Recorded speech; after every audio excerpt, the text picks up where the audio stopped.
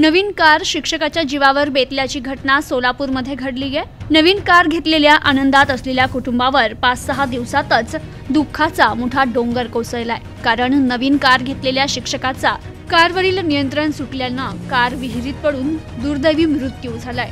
सोलापूरमधील भाटेवाडी येथे ही दुर्दैवी घटना घडली. हिरण्या बसप्पा जुजगार असं या शिक्षकाचं नाव आहे.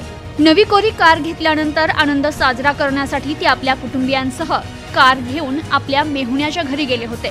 कार चालवता येत नसल्यानं खासगी ड्रायव्हर घेऊन ते मेहुण्याच्या घरी पोहोचले होते. तिथे पोहोचल्यानंतर त्यांना मोकळी जागा दिसल्याने गाडी चालवण्याचा मोह त्यांना आवडला नाही त्यामुळे गाडी चालवण्यासाठी ते ड्रायव्हिंग सीटवर बसले. मात्र गाडी चालवण्याचा अंदाज नसल्याने त्यांचा गाडीवरील ताबा सुटला आणि कार थेट शिवारातील विहिरीत कोसळली. घटनेनंतर गावातील नागरिकांनी तात्काळ इरण्य यांना बाहेर काढण्याचा प्रयत्न केला. मात्र तासभरानंतर ते विहिरीतून बाहेर काढण्यात आला. बेशुद्ध अवस्थेत त्यांना सोलापूरच्या शासकीय रुग्णालयात उपचारार्थ दाखल केलं. मात्र डॉक्टरांनी त्यांना मृत घोषित केलं.